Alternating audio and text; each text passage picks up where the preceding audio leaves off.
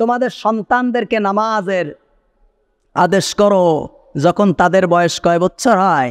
সাত বছর। আলহামদুলিল্লাহ, আমাদের তো ছেলে মেয়ে নেই। আমরা অধিকাংশ লোক এখানে আটখুড়ো বাচ্চা কাচ্চা হয়তো হয়নি। এই জন্য আপনাদের জন্য এই ওসিয়াত না তারপরে আপনাদের হাদিসটা শোনাচ্ছি। যাদের ছেলে মেয়ে আছে, তাদেরকে একটু বলে দিয়েন। মুরু আউলাদুকুম বিশ্বলাত তোমাদের সন্তানদের সাত বছর হলে নামাজের হুকুম দাও। কয় বছর? সাত বছর। সাত বছরে নামাজের হুকুম নাই, চোদ্দ বছরে নাই, তিন সাথে একুশ বছরে নাই, চার সাথে আঠাইশ বছরে নাই, পাঁচ সাথে পঁয়ত্রিশ বছরেও নামাজের হুকুম বাপমা সন্তানরে দেয় না। তখন কেউ ইয়াবা খায়, কেউ গাঁজা খায়, কেউ মেয়েদের উন্না ধরে টানে। তখন কয়, হুজুর, কি করবে, একটু দোয়া দেন।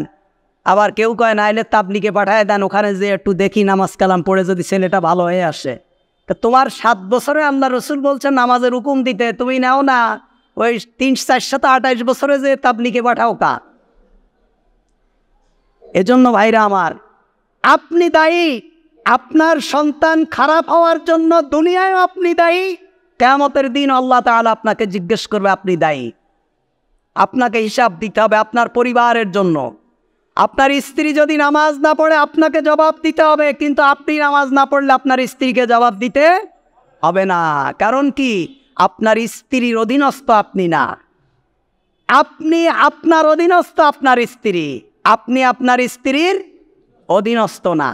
এ কারণে স্ত্রী যদি কোনোভাবেই শরিয়াতের কোনো আইনকে লঙ্ঘন করে, তার জন্য কেয়ামতের দিন আপনাকে জবাব দিতে হবে। কিন্তু আপনি যদি শরিয়াতের আইন লঙ্ঘন করেন, এর দায় আপনার স্ত্রীর কাঁধে আল্লাহ তালা দেবেন না। তবে স্ত্রীরা যারা আছেন, আপনাদের স্বামীদেরকে নসিহাত করবেন, দিনের ব্যাপারে উদ্বুদ্ধ করবেন, দিন মানার ক্ষেত্রে বাধ্য করবেন।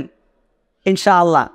তাহলে একটা নারী যদি তার স্বামীকে দিন মানার ক্ষেত্রে শক্তি প্রয়োগ করে, চাপ সৃষ্টি করে, আমরা সত্তর বার বক্তব্য দিয়ে যে কাজ হবে, তার থেকেও বেশি কাজ হবে। এই যে মোহাম্মদুর রসুল্লাহ বলেছেন, তোমাদের সন্তানদেরকে সাত বছরের নামাজের আদেশ করো। আর কি করো? বলছে, সাত বছরে শুধু বলবা, চলো মসজিদে যাই, নামাজ পড়ো, মক্তবে যাও, কোরআন পড়ো। বলছে, সাত বছর গেছে, আট বছর গেছে, নয় বছর গেছে। এর মধ্যে যদি সন্তান নামাজের ভিতরে একেবারে কন্টিনিউ না হয়, অদ্রিবুহুম আলিহা ওহুম আপনা ওয়াস্টিন দশ বছর পা দেওয়ার সাথে সাথে তাকে আর মৌখিক কোনো কথা বলা যাবে না, তাকে প্রহার করো। তাকে কি করো? প্রহার করো, এটা আল্লাহ রসুলের নির্দেশ। কারণ হলো সে সরাসরি আল্লাহর বিধানকে লঙ্ঘন করছে। এখন তোমাকে আর ছাড় দেওয়ার কোনো সুযোগ নেই।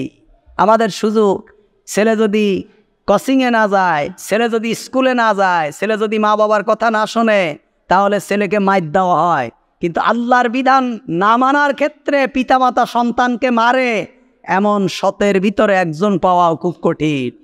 কারণ আল্লাহটা তো বাকি, আল্লাহটা কি?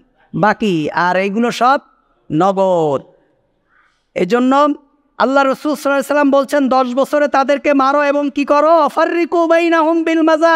ফিল মাজাজি তাদের বিছানাকে পৃথক করে দাও। ভাই বোন একসাথে থাকতে দিও না। ভাই বোনকে একই খাটের উপরে থাকতে দিও না। দশ বছর বয়স হয়ে গেলে তাদের বিছানা চেঞ্জ করে দাও। বাবার সাথে যদি বেশি প্রয়োজন হয়, বাবার সাথে ছেলে থাকবে, মায়ের সাথে মেয়ে থাকবে বাবা মেয়েও একসাথে ঘুমাতে পারবে না। কার নির্দেশ? মোহাম্মদুর রসুল্লাহ সাল্লাহ আলিবাসাল্লামের নির্দেশ। এই নামাজ মোহাম্মদুর রসুল্লাহ সাল্লাহ আলিবাসাল্লাম আমাদের কাছে নিয়ে এসেছেন। নামাজের প্রতি আমাদের গুরুত্ব নেই। আমরা নামাজে কি বলি, আমরা জানি না। আমরা নামাজে কি পড়ি, আমরা জানি না। না দোয়া জানি, না অর্থ জানি। আমরা যে বিতির নামাজ পড়ি, আমরা কি বলি? আল্লাহ আল্লাহ আমরা তোমার কাছে সাহায্য চাই। কার কাছে? বলেন, কার কাছে? আল্লাহ আল্লাহ, আমি আপনার কাছে সাহায্য চাই। আমরা আপনার কাছে সাহায্য চাই, দুনিয়ার আর কারও কাছে কোনো সাহায্য চাই না। কারণ আমরা বিপদে থাকি, মসিবাতে থাকি, অর্থনৈতিক সমস্যায় থাকি, পারিবারিক সমস্যায় থাকি, রাজনৈতিক সমস্যায় থাকি, শারীরিক সমস্যায় থাকি। যত ধরনের সমস্যা আমাদের জীবনে আমরা ফেস করি সমস্ত সমস্যা তোমার পক্ষ থেকেই আসে এবং সব কিছুর সমাধান একমাত্র কে করতে পারে?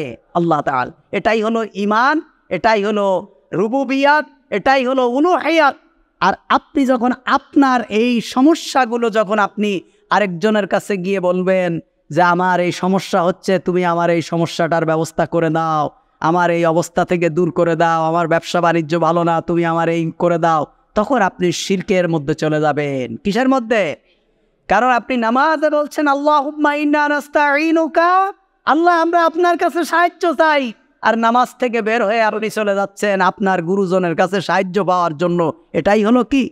শির্ক। ওয়ানাস্তা ফিরুকা আপনার কাছে শুধু সাহায্য চাই না, আপনার কাছে ক্ষমাও চাই। কি চাই? সাহায্য চাই। সাহায্য চাওয়ার মুক্ত আমাদের নাই। আমরা তো গুণা করেছি। অহরহ চোখের গুণা হাতের গুণা পায়ের গুণা আমাদের রিজিক, আমাদের কন্ট্রোলে নেই। আমাদের মেধা আমাদের কন্ট্রোলে নেই। আমরা বিভিন্ন ধরনের ফিকির, চিন্তা, ভাবনা আমাদের মাথায় চলে আসে। আল্লাহ যেই মুখ দিয়ে আপনার কাছে সাহায্য চাই এই মুখ দিয়েই হয়তো আপনার বিরোধিতা করি। অনাস্তা ফিরুক আল্লাহ আমাদেরকে সাথে সাথে কি করে দেন? মাফ করে দেন। অনুমিনুবিকার আল্লাহ আপনার প্রতি আমরা ইমান এনেছি। আমরা মুশ্রিক নই। আমরা আপনার কাছে সাহায্য চাই, আপনার কাছে ক্ষমা চাই এ কারণে, কারণ আমরা আপনার গোলাম, আমরা আপনার বান্দা অনুমিনুবিকা আমরা আপনার উপরে কি এনেছি? ইমান এনেছি। শুধু ইমান আনিনি, আপনার উপরে আমরা ভরসা করি সোহান আল্লাহ সমস্ত সিদ্ধান্ত আমরা মাথা পেতে নেই, আপনি আমাদের সব। আপনার উপরে আমরা ভরসা করি, আর কারও উপরে আমরা ভরসা করি না। আপনি কি বলেন আর কি করেন? আপনার জীবনটা আপনি একটু ঘুরায় দেখেন, আপনি কি বলেন আর কি করেন? আল্লাহর কাছে ওয়াদা করে ঘুমাচ্ছেন, ঘুম থেকে উঠেই আপনি আল্লাহর বিরোধিতা করা শুরু করলেন। তারপরে কি বলছেন? অনু অমিনুবিকা ওয়ানাতাওয়াক্কালু আলাইক নুসনি আলাইকাল খায়র ওয়া নাশকুরুকা আল্লাহ, আমরা আপনার শকর আদায় করি। কি করি? ওয়া নাশকুরুকা আপনার শকর আদায় করি। সব ব্যাপারে আপনার শকর আদায় করি। আমরা না সুক্রিয়া বন্দা নয়। আমরা অকৃতজ্ঞ নয়, আমরা কৃতজ্ঞতা স্বীকার করি। সব কিছু আপনি আমাদেরকে দিয়েছেন, রিজিকের ব্যবস্থা আপনি করেছেন, আলো দিয়েছেন, বাতাস দিয়েছেন, আমাদের সুস্বাস্থ্য দিয়েছেন। আপনি আমাদের দুনিয়ায় বাঁচিয়ে রেখেছেন। আমরা আপনার কৃতজ্ঞ আপনার শকর আদায় করি। বলেন ফুরুকা আমরা কুফুরি করি না। আপনা আপনার কুফুরি করি না। আমরা আপনার সাথে কুফুরি করি না। আমরা আপনার নেয়ামতের অস্বীকার করি না। কিংবা আমরা আপনার নির্দেশকে অমান্য করি না। অলানাক ফুরুকা তারপরে কি বলছেন? অনাখ লাউ আনাত রুকু মাইয়াফ জুরুকা আল্লাহ তারা আপনার বিরোধিতা করে। যারা আপনার সাথে দুশ্মনী করে আপনার যারা আপনার আইন লঙ্ঘন করে, যারা আপনার হুকুমকে অমান্য করে, আমরা তাদের সাথে কোনো সম্পর্ক রাখি না। সমস্ত সম্পর্ক কি করে দিলাম? বিচ্ছেদ করে দিলাম আপনি বলছেন, আপনার সম্পর্ক কার সাথে? কার সাথে আপনি ওঠেন? আপনার আত্মীয়তা কার সাথে? আপনার পারিবারিক সম্পর্ক কার সাথে? আপনার ব্যবসা বাণিজ্য কার সাথে? আপনার রাজনীতি কার সাথে? আপনার অর্থনীতি কার সাথে? কার সাথে ছেলে বিয়ে দিয়েছেন? অথচ আপনি ওয়াদা করছেন জুরুকা যারা আপনার বিরোধিতা করে, যারা আপনার দুশ্মনী করে, যারা আপনার সাথে সীমা লঙ্ঘন করে, যারা আপনার হুকুম মানে না, এদের সাথে আমার কোনো সম্পর্ক নেই, সমস্ত সম্পর্ক আমি ছিন্ন করে দিলাম। আপনি বলছেন, অথচ আপনি সম্পর্ক রেখে দিয়েছেন। আপনার সাথে মাজার পূজারীরও সম্পর্ক আছে, মুশ্রিকেরও সম্পর্ক আছে, সুৎখরেরও সম্পর্ক আছে, ঘুষখরেরও আছে। নাফারমানের সাথেও আপনার সম্পর্ক, জালেমের সাথেও আপনার সম্পর্ক, মজলুমের সাথেও আপনার সম্পর্ক। আপনি ওয়াদা করলেন কি আর আপনি করছেন কি? তার মানে কি? আপনি ওয়াদা খেলাফকারী। তারপরে আপনি কি বলছেন? আল্লাহ কানা কানাবুদু ওয়ালা কানু সাল্লিক আল্লাহ আমরা আপনার এবাদাত করি। এবং আপনার জন্যই কি করি? সলাত আদায় করি। ওলা কানু সল্লি আমরা আর কারও এবাদাত করি না। এইভাবে আপনি আল্লাহর কাছে ওয়াদা করেন। আপনি কিন্তু আপনি ওয়াদা মানেন না। এজন্য সলাৎকে বুঝে বুঝে আদায় করতে হবে। আপনি যদি না বুঝে সলাৎ আদায় করেন, আপনি সলাতের ভিতরে মজা পাবেন না। আপনি যখন বলবেন আলহামদুলিল্লাহ রব্বিল আলমিন। আপনার মনের কোঠায় ভেসে উঠবে যে আমি সমস্ত প্রশংসা আল্লাহর করছি। সমস্ত প্রশংসা কার? আল্লাহ। আর রহমান রহিম, আপনি যখন পড়বেন, আপনার হৃদয় ভেসে উঠবে, তিনি তো পরম দয়ালু, মেহেরবান। অসীম মেহেরবান, পরম দয়ালু আল্লাহ তাআলা। তারপরে আপনি যখন বলবেন, মালিক ইয়াউমিদ্দিন, আপনার মনের কোঠায় ভেসে উঠবে আমার এই দুনিয়ার আধিপত্য থাকবে না। আমি যত যাই করি না কেন আল্লাহর রাজত্বের আল্লাহর সীমানা থেকে বের হতে পারব না। কেয়ামতের দিবসের মালিক একমাত্র আল্লাহ সুবহানাহু ওয়া তাআলা। আপনি যখন বলবেন ইয়া কানা আবুদু ইয়া কানাস্তাইন তখন আপনার মনের ভিতরে ভেসে উঠবে, যদি আপনি অর্থ জানেন যে আমি তো ইবাদত করি আল্লাহর। আমার ইবাদত তো শুধুমাত্র আল্লাহর জন্য। আল্লাহ, তুমি আমাদেরকে সঠিক রাস্তা দেখাও। কোনটা সঠিক পথ, কোন রাস্তায় গেলে আমি বিপদগ্রস্ত হব না, কোন রাস্তায় গেলে আমি জাহান্নামের যাব না, কোন রাস্তায় গেলে আমা আমি কুফত প্রাপ্ত হব না, কোন রাস্তায় গেলে আমি ফেতনা ফাসাদের মধ্যে পড়ব না।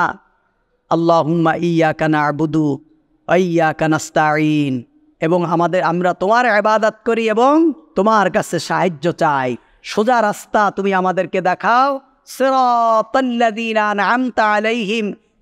যখন আপনি এটা পড়বেন সিরাতাল্লাযীনা আনআমতা আলাইহিম সিরাতাল্লাযীনা আনআমতা আলাইহিম, গায়রিল মাগদুবি আলাইহিম ওয়ালাদ-দাল্লিন আল্লাহ, তখন আপনার মনে ভেসে উঠবে, যদি আপনি অর্থ জানেন যে আল্লাহ, আমি বলছি যে আল্লাহ, তুমি আমাদেরকে এমন রাস্তা দেখাও যে রাস্তার উপরে তোমার নিয়ামত। তুমি আমাদেরকে এমন রাস্তা দেখাও না যে রাস্তার উপরে চললে পথভ্রষ্ট হব কিংবা পথভ্রষ্ট ব্যক্তিরা যে রাস্তার উপর দিয়ে অতিবাহিত হয়েছে, সে রাস্তার উপর তুমি আমাদেরকে চালাবে না। অন্তত নামাজের কয়েকটি, সলাতের কয়েকটি সুরা, দোয়া, কি বলছেন, এগুলো অন্তত আমাদের জানা থাকা দরকার। এগুলো যদি জেনে বুঝে আমরা সলাত আদায় করতে পারি, তাহলেই কেবলমাত্র সেই ইবাদাতের ভিতরে আমরা মজা পাব। তারপরে নবী মোহাম্মদুর রসুল্লাহ সাল্লাহ আলী সাল্লাম মেয়ারাজে যাওয়ার সময় দেখলেন কিছু মানুষ, কিছু মানুষের, কিছু মানুষ রক্তের নদীতে সাঁতার কাটছে। তারপরে তারা পিতল পাথর পিতল দিয়ে এবং পাথর দিয়ে তারা তাদের নখকে, মুখকে কি, শরীরকে আশ্রাচ্ছে, তাদেরকে প্রচণ্ড শাস্তি পেতে হচ্ছে। তারা যখন সাগরের কিনারে চলে আসছে, তাদেরকে পাথর মেরে আবার সাগরে ফেলে দেওয়া হচ্ছে। জিজ্ঞেস করা হলো যে, এরা কারা? এদের এই কঠিন শাস্তি দেওয়া হলো? বলা হলো যে, এরা হলো গিবৎকারী। শুধু একজনের দোষ আরেকজন বলা। এটা হলো গিবত যে ব্যক্তির দোষ বলবে, সেই ব্যক্তির ভিতরে এই দোষ আছে।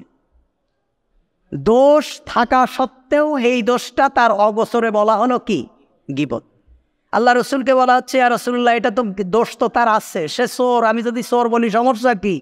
বলছে হ্যাঁ সে চোর বলেই তো এটা গিবত। যদি সে চোর না হতো, তাহলে এটা গিবত হতো না, এটা তহমাত হতো, মিথ্যা অপবাদ হতো। সে চোর বলেই তো তুমি তার বিরুদ্ধে চোরকে চোর বলছো, চোরের অবর্তমানে, এটা গিবত। আর সে ব্যক্তি যদি চোর না হতো, তুমি যদি তাকে চোর বলতে, তখন সেটা আর গিবত হতো না, সেটা কি হতো? তোহমাত হতো। এটা আমাদের সমাজে এখন চলছে। এটা চলছেই। নাম ধরে অমুক গিবত করা, দোকানে বসলেই গিবত করা, অমুক ভালো না, তমুক ভালো না, খোঁজ নিয়ে দেখা গেল সে নিজেই কি না ভালো না। এজন্য গিবত হলো মৌমিনের গুণা গিবত কার গুণা মৌমিনের গুণা কাফের গুণা না। কাফের তো কাফেরই। আপনি গিবত করবেন, এই নামাজ পড়ে বের হয়ে যাওয়ার সময় গল্প করতে করতে আরেকজনের নামে গিবত করতে করতে যাবেন, নামাজটা যা পড়েছেন তাকে দিয়ে কেমতের দিন তাকে কি করা হবে? দিয়ে দেওয়া হবে। এজন্য গিবত থেকে দূরে থাকতে হবে গিবতকারীর শাস্তি খুব কঠিন। আল্লাহ রসুল সাল্লাহ আলী ওসাল্লাম আরও কিছু দূর অগ্রসর হওয়ার পরে দেখলেন, লোহার প্রেক গরম করে একদল লোকের হলকুমের ভিতরে ঢুকিয়ে দেওয়া হচ্ছে। গলার ভিতরে লোহার পেরেককে কি করে? গরম করে ঢুকিয়ে দেওয়া হচ্ছে, গরম করে। এবং জিব্বাকে কেটে ফেলা হচ্ছে। আল্লাহ রসুল জিজ্ঞেস করলেন, এই কঠিন শাস্তি দেওয়া হচ্ছে কারণ কি? বলল যে, এরা হলো কোরআন এবং হাদিসের অপব্যাখ্যাকারী। কোরআন এবং হাদিসের অপব্যাখ্যাকারী। ফাও ওই এবাদত তৈরিকারী। নেই একটা জিনিস, ব্যাস। সেটাকে ঢুকায় দিল আরেকটা বলে, কদ যা কুম্মিন আল্লাহ নুরুন। মানে আল্লাহ তাআলা বলছেন যে, আমি তোমাদের কাছে নূর পাঠিয়েছি এবং কিতাব পাঠিয়েছি। নূর মানে কি? মোহাম্মদুর রসুল্লাহ তার মানে মোহাম্মদ সাল্লাহ সাল্লাম আল্লাহ নূরের তৈরি। নৌজবিল্লাহি বিন জালিক আছে না নাই? অপব্যাখ্যা অপ্তাবু ইলাইহিল ওয়াসিলা মানে তোমরা ওসিলা তালাশ করো। এই আয়াতের ব্যাখ্যা নবী আলাইহিস সালাতু আসসালাম থেকে শুরু করে সমস্ত সাহাবীরা এক ব্যাখ্যা করেছে। আমাদের দেশের পিসায় বুজুরা এর ব্যাখ্যা আরেকটা করে দেয়, অপ্তাগু ইলাইহিল ওসিলা মানে আল্লাহর অলি ধরো, পীর ধরো। এই যে কোরআন হাদিসের অপব্যাখ্যা করা, একটা বিষয়কে নিজের মতো করে তৈরি করে নেওয়া ব্যাখ্যাটাকে নিজের দিকে ফিরায় দেওয়া। এটা হলো কঠিন শাস্তির অধিকারী আল্লাহ রসুল বলছেন, মান কাদাবা নার। যে ব্যক্তি মিথ্যা কথা কথা একটা বলে ফেলেছে, ভাই, কোথায় আছে? এটা কোরআনে আছে, এটা হাদিসে আছে। এবার তুমি খুঁজে দেখো, সাধারণ মানুষকে বুঝবে এটা কোথায় আছে? কোনো কথা আপনি না জেনে বলতে পারবেন না। কোনো কথা আপনি না জেনে বলতে পারবেন না। হোক, এটা কোরআন, হাদিসের কথা হোক এটা দুনিয়ার কথা।